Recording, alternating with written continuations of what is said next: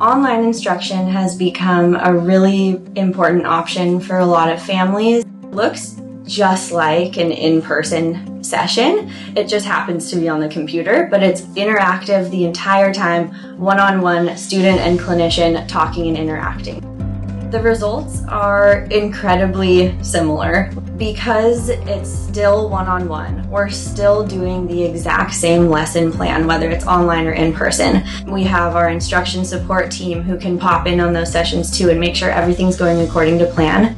And so I would really encourage um, any families who would have trouble coming in person to give it a try.